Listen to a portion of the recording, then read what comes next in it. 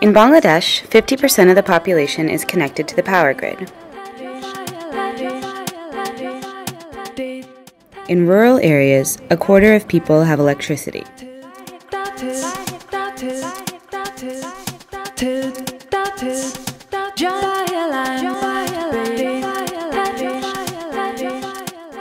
According to the World Bank, Bangladesh uses 279 kilowatt hours of electricity per person.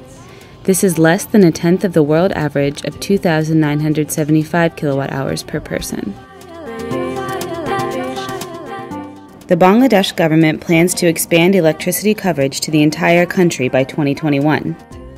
The planned expansion means covering an additional 80 million people in the next eight years adding to the already 281,000 kilometers of distribution lines that are poorly maintained.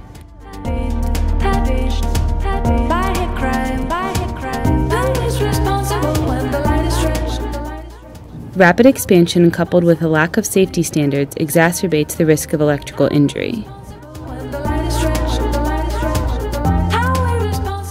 Every year in Bangladesh, 110,000 individuals sustain an electrical injury.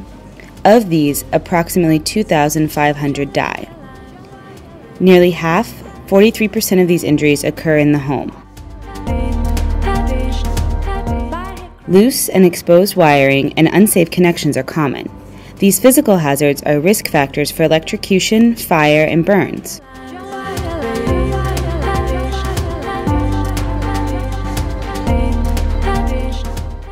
Providing millions of Bangladeshis with access to the electricity grid is an important step up the energy ladder. However, doing so without the proper infrastructure and capacity could result in a dangerous yet predictable spike in the number of electrical deaths per year. Additionally, it could exacerbate reliability issues in urban areas.